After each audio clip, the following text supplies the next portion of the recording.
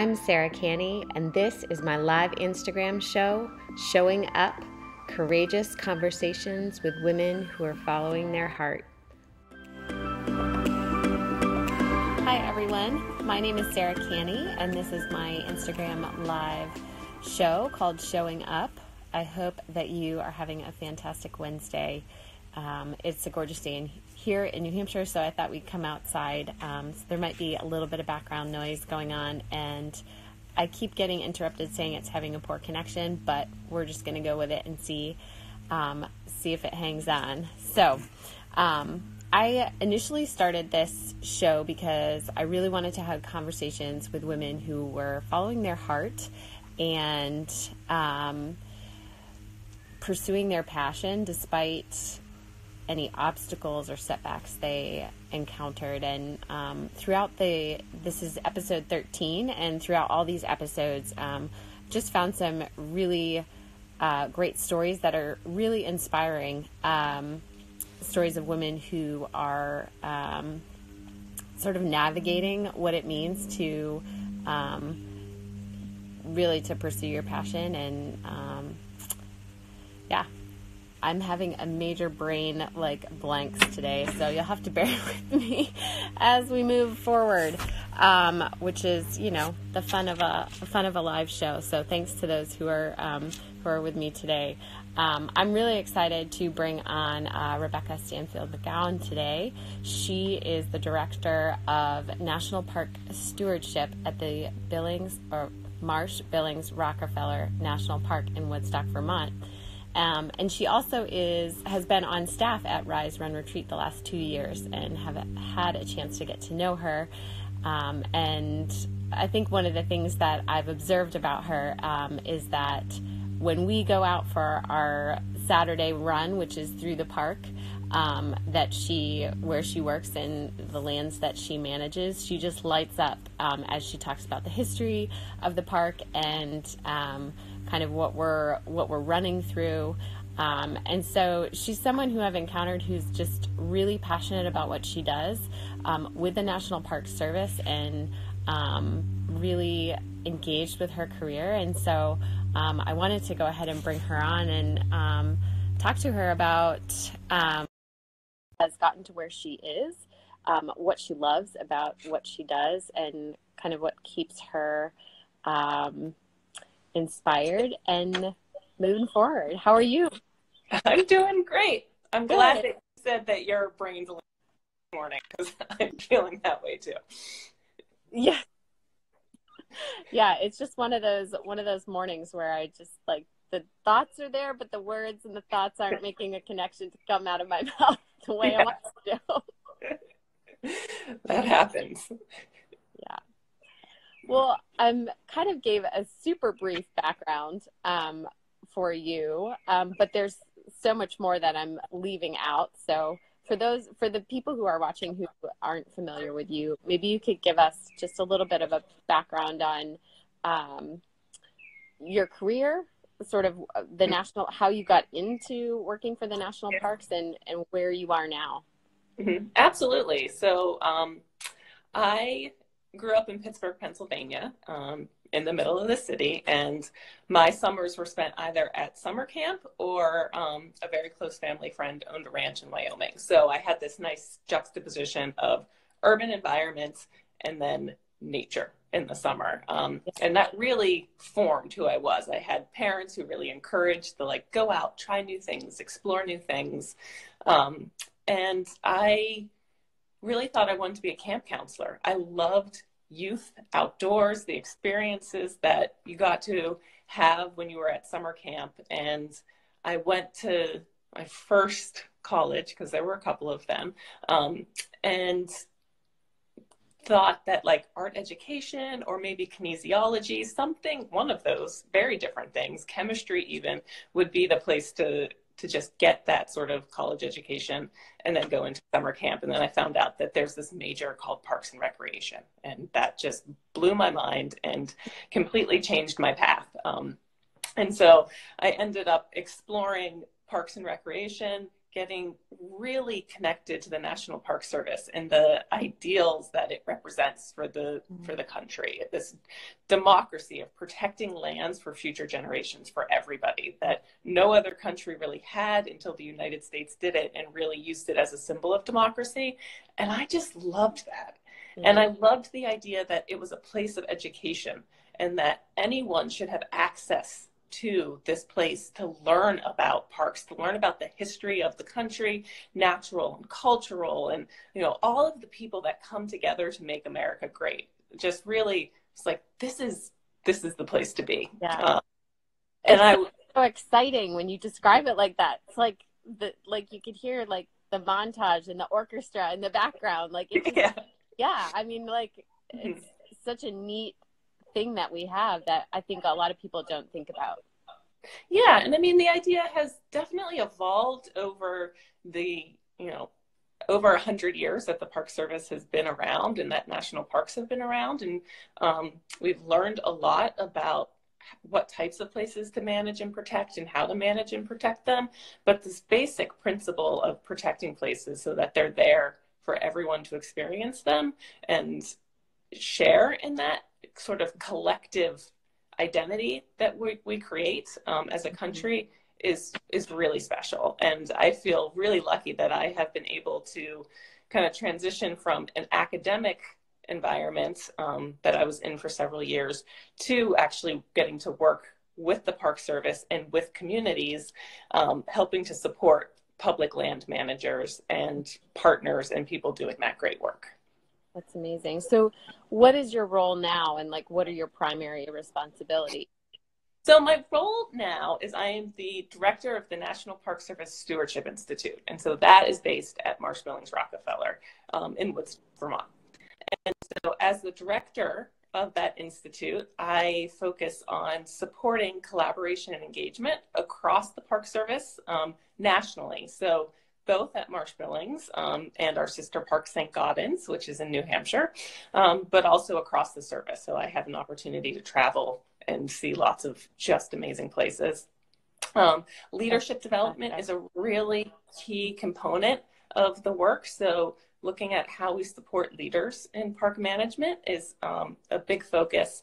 And then a little bit of that evaluation and sort of study goes in there to make sure that we're incorporating best practices and really tracking our impact. Um, so I, I, feel like I get the best of both worlds. I am in a beautiful place and I get to work with the land managers and support the management of this beautiful place in Vermont. Um, but then I get to travel all over the country and work with mm-hmm. Park Service staff and their communities all over the country. Yeah, that's amazing. It sounds like um, just such a neat opportunity to come in contact with, um, you know, different people who are in your field, but then um, the communities that you're going into as well. Um, as when you were sort of in school and um, kind of looking at your options of kind of where you would go and what you would do.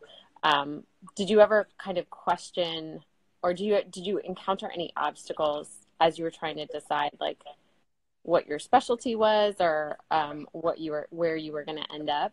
Mm-hmm. So one of the main things that really has been a driving force for me in my work has been increasing the participation of people of color. So in my all the way through school and I did, you know, undergrad, a master's, a PhD, all of it. There were very few people of color and very few women of color. So, and there are a lot of barriers and challenges and insecurities about whether you belong there. And then being a person of color from an urban area who's like, I don't want to say this, but I kind of don't like camping. like, not comfortable. Um, so there's a lot of self insecurity about mm. trying to be like, I do belong in the Park Service. Mm. I do belong in natural resources because I, I, there are pieces of it that I absolutely love. And I'm mm-hmm. learning to like camping now that I have a kid.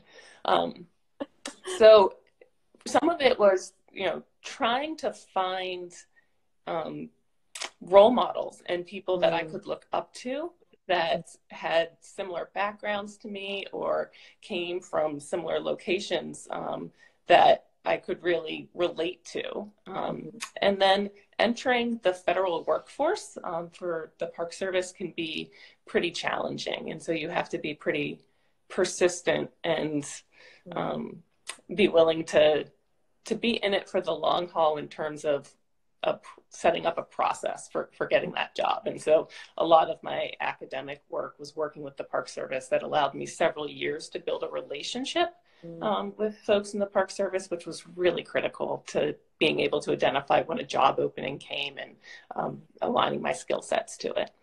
Yeah. So talk a little bit more about that fe- those feelings of insecurity and kind of how did you how did you deal with that sort of internal negative voice. And mm-hmm.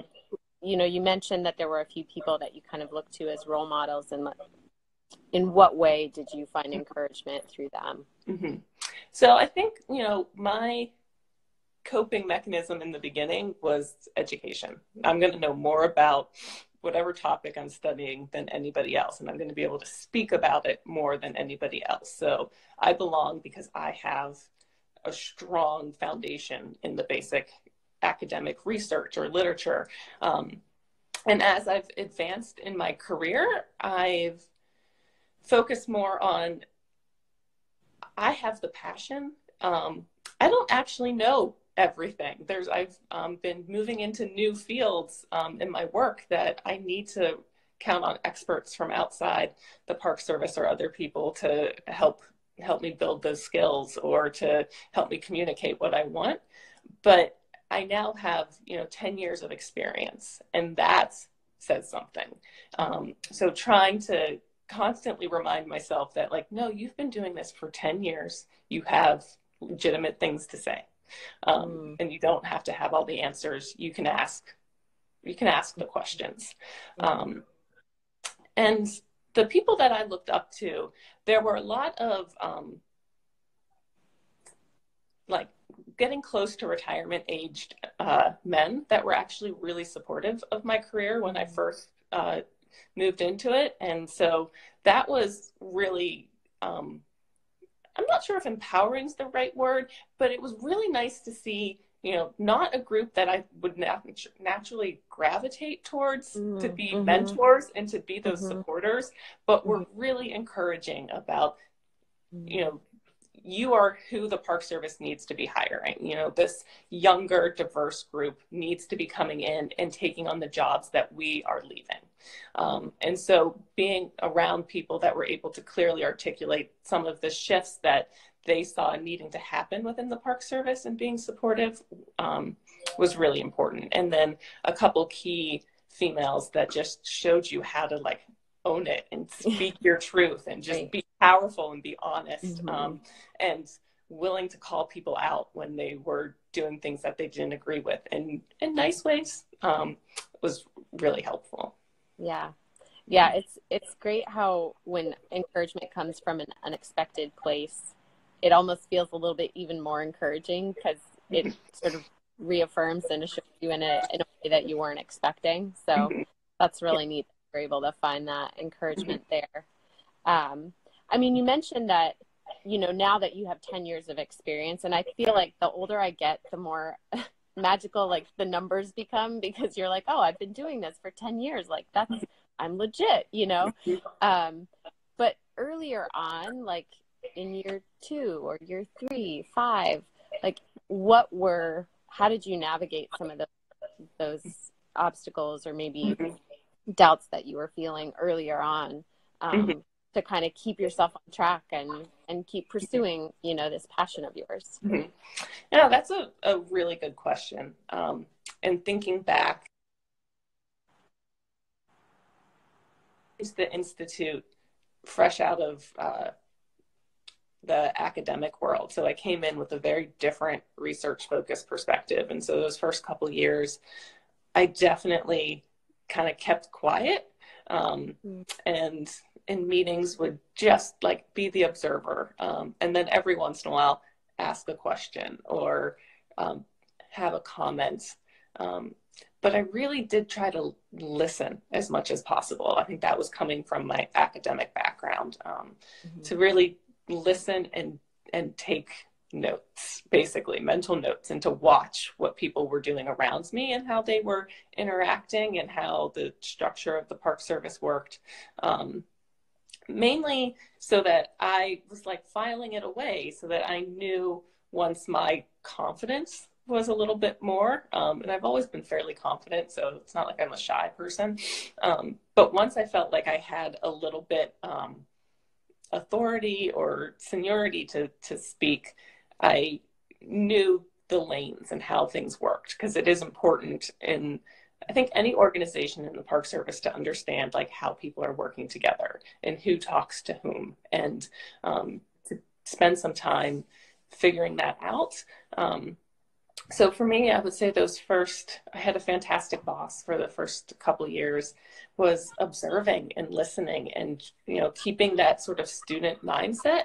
Um, and then when it came time for me to step into a role of leadership, um, it was it was kind of challenging to make that shift to go from it's no longer me saying well would you like me to do this i'm thinking that this might be a good idea to this is what i would like us to do mm. let's all figure out together how we get there.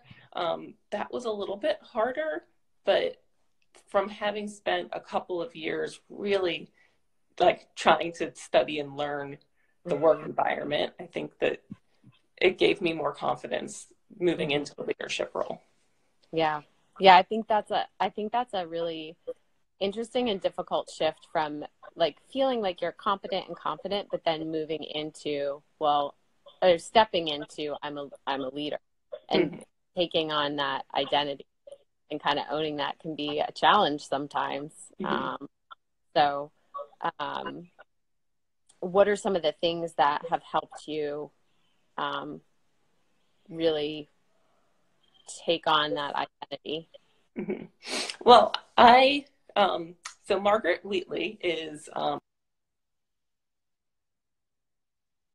a guru. She's amazing. And so I um, got to spend a couple of years working closely with her, and I highly recommend reading sort of any of, of her books. Um, and so uh, there actually was a lot of like self work in terms of what type of leader do I want to be and um, being a servant leader and that means playing to my strengths, not trying to be like commanding and this is what we need to do and I'm going to micromanage, but to look with compassion to what are the skill sets of the people around me and trying to support those and connect those, which um, was something that I had been doing before, but not as a leader. Um, mm. and so, really thinking who are the people that I work with? And what are their passions their skills and how do i actually support that um, versus just delegating and trying to get stuff done and so having the ability to think you know holistically about the projects that we work on and not just we need to get this done so i'm going to put someone in charge of it but mm-hmm. we need to get this done and who has a passion that's going to make it even better than I could make it. Mm-hmm. Um, and then identifying those those people and and you know empowering them to do it. And it it's not easy. Like one of the things that I have really struggled with um, is that I manage mostly people that are older than me and have been working in the park service longer than I have. Um, and so trying to be a leader in that dynamic is I'm still struggling with that because I know what motivates me as someone who is in my late 30s with a young family and what I need to do, and then trying to be empathetic and understand what motivates someone else in a completely different space in their life is it's it's hard to build that sort of bridge of connection um, when I'm thinking, but this is what would get me really excited, and it's not for them. yeah, yeah, so a lot of your job is sort of managing people and connecting with people. I mean, on the whole, you're stewarding public lands, but then, I mean, really, it's you know, in order to do that, you're you're working really closely with with people um, to get them on board with what you're doing. Um, what are some of the tools that you've kind of encountered that have been really helpful for you in, as you mentioned, like kind of looking in within and developing yourself as a leader and finding your leading style? And what things have you used to to help you in that way? Mm-hmm.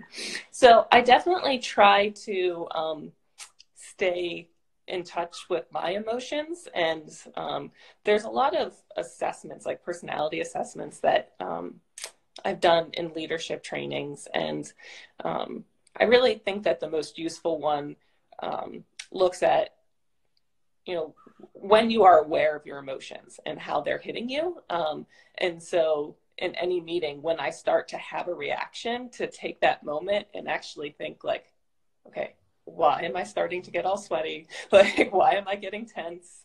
And then what what am i telling myself is happening? Um, am i going up the ladder of inference and assuming that this person has horrible intentions when really they aren't even thinking about what they're saying because their mind's someplace else. Um, mm-hmm. and so, really, like taking that step back and letting myself take the moment to be like, okay, I'm feeling frustrated, and I'm frustrated because X, Y, and Z is not happening is it not happening because the person doesn't want to do it or can't do it?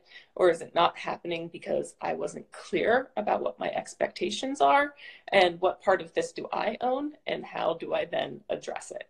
Um, and it's hard to do that in the moment um, mm. but it has been really helpful for me to be like okay because i can't let these emotions just continue on and carry on. Um, mm-hmm. i need to be able to address it as it's happening and move forward. Um, so I do that so many times during the day. And when I find myself replaying conversations over and over again in my head, I'm like, it's time to stop. Like, what do I actually, what, what, what am I telling myself about what I think this person's intentions mm-hmm. are? And how can I actually find out what really happened um, to stop doing that? Or if it's something that I need to clarify.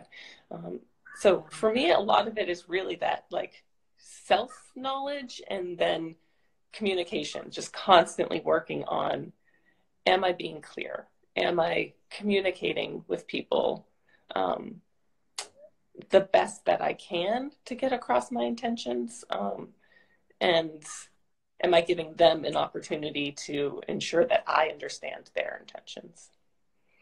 Yeah, I think that's such an important skill for life. I mean, it applies to not just to work scenario, but to your relationships, to parenting. Like it can be applied to pretty much every aspect of life that just kind of slowing down, identifying what you're feeling. And then mm-hmm. the thing that I always come back to is like asking myself, well, what's the story that I'm telling myself yes. about what's going on? Like what's, mm-hmm. what am, what's the story that I'm making up and is it true? And, um, yeah, I think that's, that's such a, um, critical skill to have, you know, in a, in any scenario.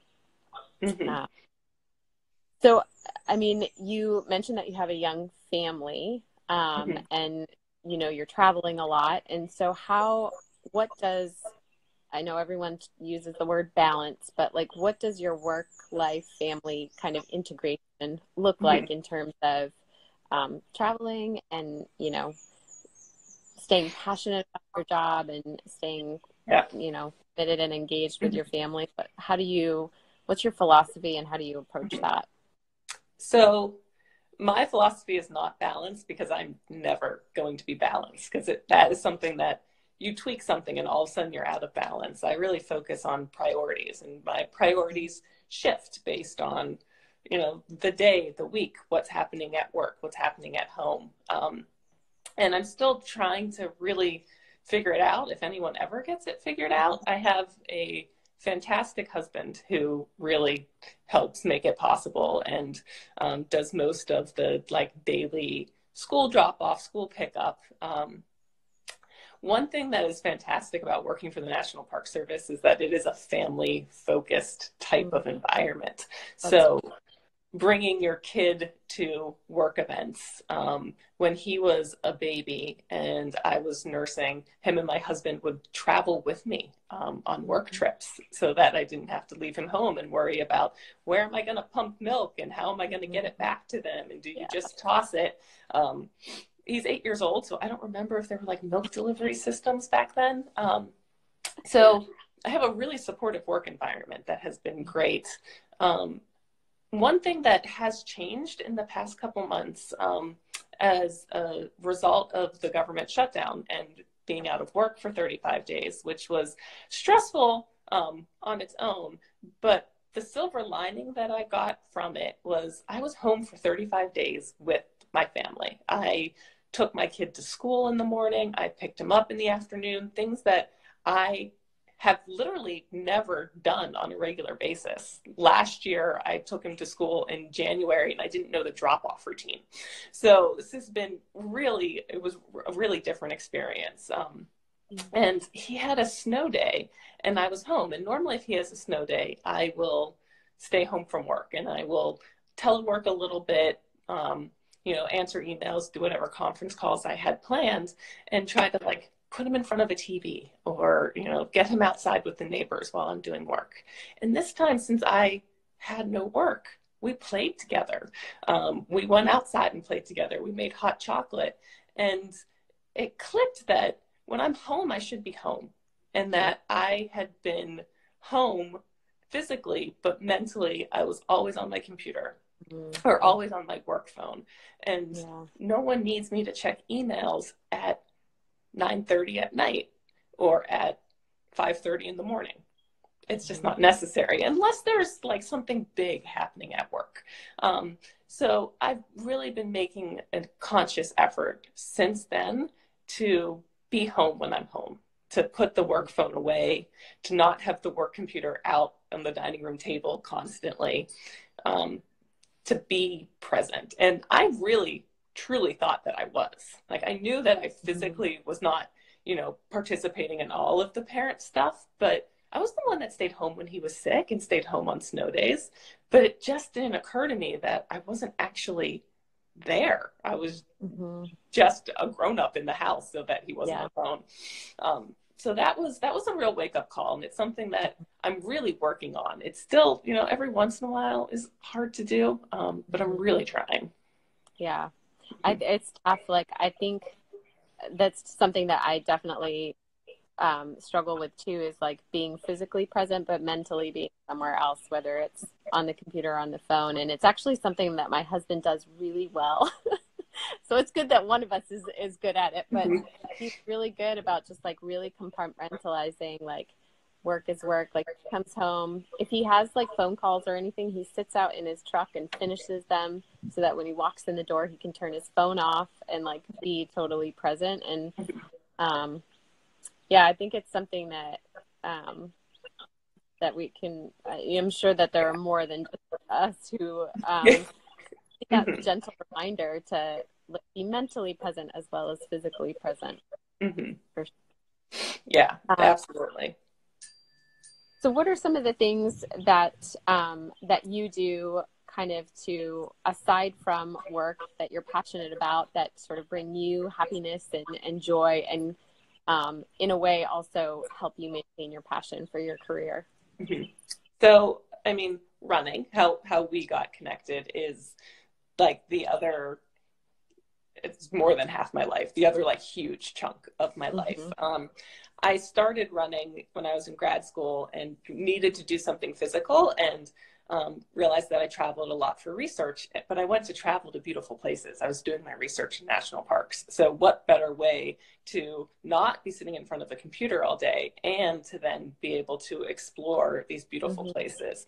Um, so, I love being able to use running to explore wherever I'm traveling since I travel so much, getting to go out and see more of either the city or the park, wherever I am. Um, mm-hmm. And I run pretty much every morning, um, really early, you know, 5 a.m., 5.30, um, with a solid group of friends. And it's when I don't make that morning run, um, it kind of it changes my personality a little bit. like I need to, I need that morning run. I need that, you know, 50 minutes um, mm-hmm. first thing in the morning. You know, wake up, the house is quiet, um, mm-hmm. everyone else is asleep, and being able to, you know, quickly pack my bags, not even make coffee, just like slip out the door and see the sunrise, um, mm-hmm.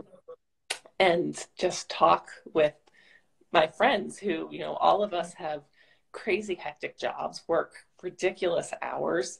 Um, we run early in the morning because one of us routinely has meetings at 7.30 in the morning. So in order for us to actually get together and do it, it sometimes we meet at 4, yeah, sometimes we're meeting at 4.30 just so that it fits with everyone's schedule. That's great. And it just like that, that feeds me. And the community that I've met through running has, is I when I started running, I never would have thought that mm-hmm. um, the friends that I've made would be, you know, so important to my life. I was mm-hmm. just reflecting with one of them today that we only met three years ago, which just seems insane because I feel like I've known her my entire life. Yeah, yeah, it's really uh, the connection that comes from the running community is pretty special. Mm-hmm. So, so looking ahead, what what goals do you have for your for your career? Where do you see yourself kind of moving forward? Yeah, um, so there are a couple of um, projects that I am currently working on that I am excited about and want to see through um, here at the institute that are really looking at supporting Park Service staff as we deal with some really challenging issues of harassment and hostility within the workforce. Um, so it's sort of a new field. It's very emotional talking about trauma and harm a lot. Um, but really interested in how we can integrate some um, interesting principles into our response and support of of employees. So um, one of my big goals is to get more conversant and have a better understanding of trauma informed organizations. And so that has been sort of a, a heavy lift that I have taken on over the past couple of months and to dive into that field and make some connections with folks there. Um, I think ultimately, I mean, I love where I am and I love the Institute. So I don't actually think that far out into like in five years, 10 years, where do I want to be career wise? Um, I've been lucky that timing has worked and things have appeared when I've been ready to make a shift. Um, mm-hmm. And in the Park Service, I feel like that that happens. Jobs appear um, not magically, but like when you are ready, um, you can you can find a way to make that shift. Um, so we'll we'll see what what happens in the future. I mean, I have lots of running goals and goals for everything else. It's just like my career is the one place where I'm like, mm-hmm. I have lots of interesting things happening and I want to see them through. And yeah, my, my, like the, the focus will shift and change and mm-hmm. hopefully it'll lead me down some really interesting roads mm-hmm. that I haven't been down before and we'll see mm-hmm. where that goes. I mean, I'm, I'm fully committed to the park service until I get that 35 year pin and get to retire into my yeah. dream beach bungalow house somewhere. But... That's great. Mm-hmm. Yeah, I mean it it sounds like you're right where you want to be mm-hmm. and mm-hmm. with the ability to pursue projects and, and things that, that really excite you and, and have a really important impact. Mm-hmm. Um, so that's really great. Mm-hmm. Yeah, I would say I feel really lucky and blessed to be um, where I am right now and to be able to mm-hmm. do the work that I'm doing. Um, mm-hmm.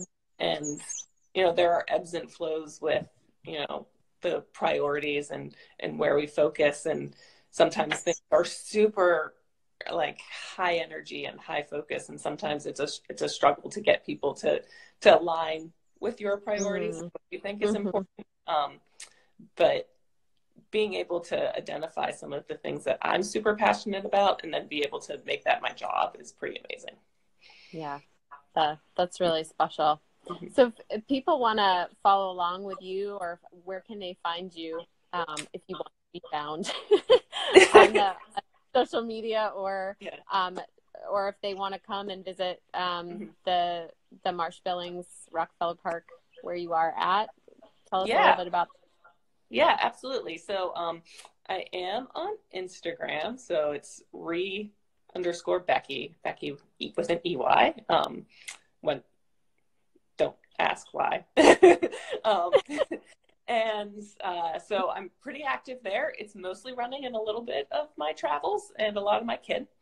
Um, Marsh Billings Rockefeller is in Woodstock, Vermont, and it is a beautiful time to be in mm-hmm. Woodstock. So um, I'd highly encourage you to come up and visit Woodstock. There are also 419 other units of the National Park Service. So there's probably one close to wherever you are, um, anyone that's watching, uh, that you can visit. But Marsh Billings Rockefeller and St. Gaudens National Historical Park, um, really close together. So, two great places. And if you come to Marsh Billings, you will most likely, if I'm not traveling, find me in the carriage barn on the second floor, sitting in front of the computer. Fantastic.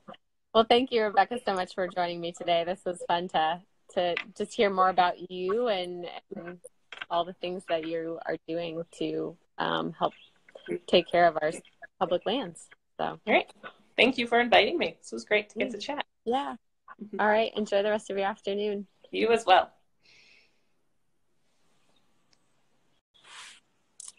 Thanks for joining me today, guys. I um, just have a lot of fun hearing um, the stories of other women who are stepping into leadership roles, um, overcoming obstacles. You know, some of the obstacles that that Rebecca mentioned, um, and just finding finding a place um, for themselves and for their unique skills and giftings and passions. So. Um, this there's black flies everywhere. Um, this has been really fun. Um, next week um, I won't be coming on. I'm actually going to take a break for this summer from this Instagram Live show um, so that I can show up for my kids and be present over the summer.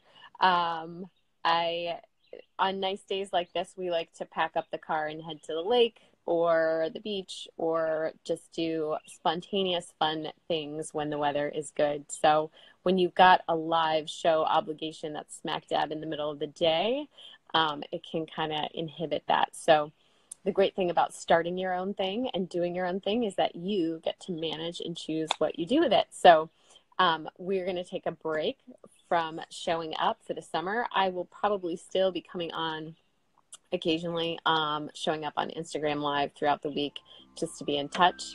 Um, but we'll pick back up in the fall with um, some more guests who are already lined up and really excited to be on. So I hope you guys enjoy your summer, and we'll see you in the Instagram stories um, over the course of the next few months. Enjoy the rest of your day.